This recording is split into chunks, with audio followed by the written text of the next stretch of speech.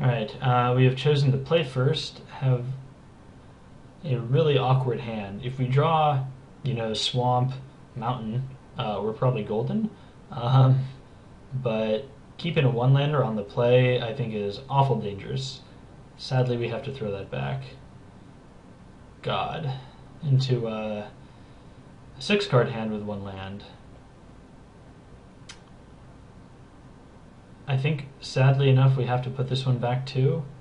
Um, it's basically the same hand as the other one, just one less uh, one less card in it. Um, this is pretty miserable. I guess we'll just keep this. Uh, I mean, I guess he rolled down to five on game one, but I'm not. I'm not very optimistic for this hand. Yep.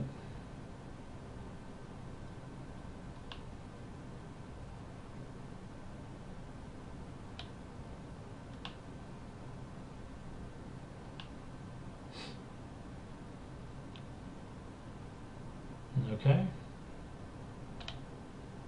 All right.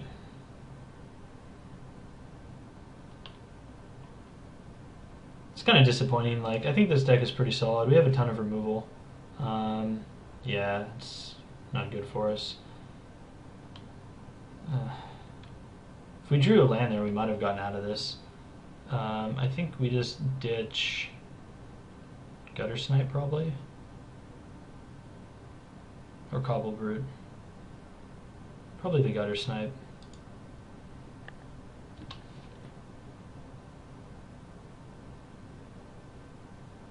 Kind of amazed he just didn't activate his key in there and hit me for five. I'm basically dead. I mean, really? Okay, well, at least we got a land here. Um, I guess we'll cast our Ash Zealot and get in for two points of damage, even though it's just going to get bounced next turn by the rock.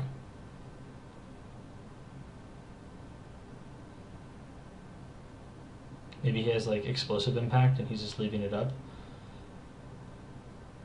I think, I mean, when your opponent has like one land, I think you just hit for five and kill him in four turns.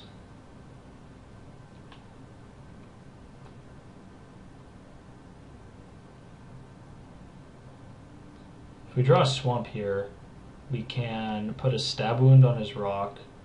Um, all right. Well, we can't do that. At least we can Annihilating Fire um, the rock.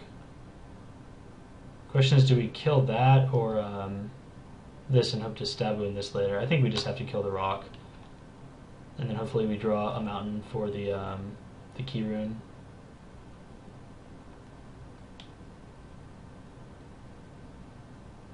Can't play Splatter Thug or Zealot, it'll just get bounced again. Sure. Hopefully he doesn't have a counterspell.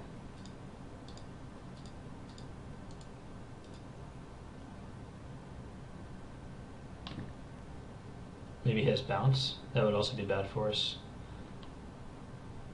It's kind of like bounce.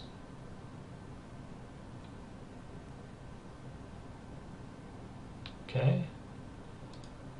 Alright, well, um, we got a black mana, so that's good. Um, I think Let's see, he's at 18. I think we just play Splatter Thug here. Um, oh, this is so awkward. It's awkward because like we have to, we pretty much have to Augur Spree now, the rock when he replays it, because uh, if it stays out, it's just going to bounce all of our stuff like over and over and over. Um, and then we really, really don't have a good answer for the, uh, the key rune. Um, but it is what it is. And the, the worst thing is, I think he has Annihilating Fire, so I think we're just dead in like two or three turns.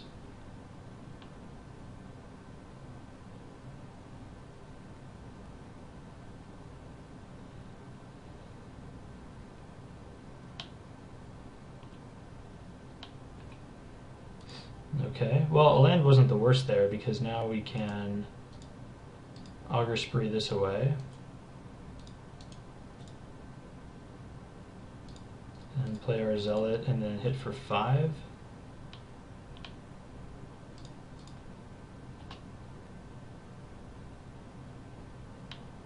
We need to we need to draw another annihilating fire for this stupid key rune though. Like ASAP.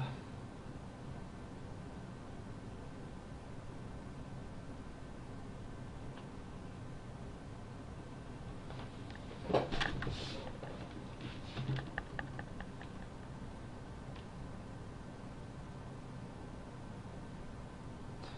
still has four cards in hand. Um, yeah, it looks like he's just going for the win now off Annihilating Fire.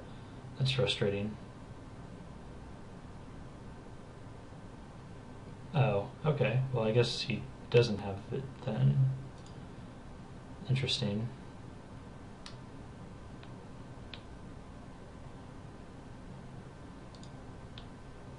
Hmm.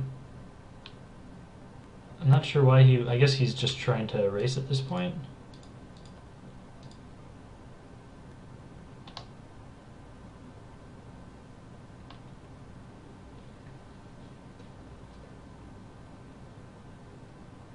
Unless his hand is full of land, this doesn't make a whole lot of sense. Now he had, uh, maybe he top decked it. I don't know. That's odd. Whatever. Um, I feel like we kind of got slow rolled there a bit. That's okay. Um, sad ending to a deck that I think was pretty sweet. Um, but sometimes you mull to five and don't get there on game three, round one. Uh, I will see you guys next time. Thanks for watching.